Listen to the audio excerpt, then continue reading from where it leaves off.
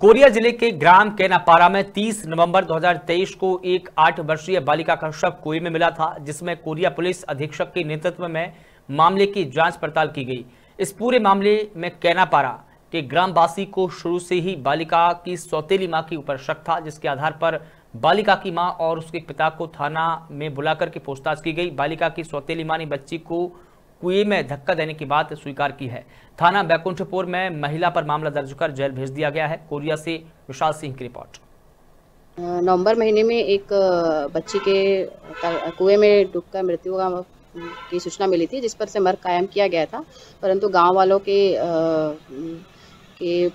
के ने शिकायत किया कि उसके सौतेली माँ के द्वारा उसे धक्का दिया गया है और हम, हमको भी मुखबिरों से इधर उधर जानकारी मिली, जिस पर उसकी माता, जो कि सौतेली माता है, उसको बुलाकर पूछताछ किया गया। उसके पिताजी से भी पूछताछ की गई, जिससे महिला ने अपनी ही सौतेली बेटी को कुएँ में धक्का देकर मारने की बात कबूल कर ली है, जिस पर बैकुंठपुर में तीन सौ दो का अपराध पंजीबद्ध किया गया है।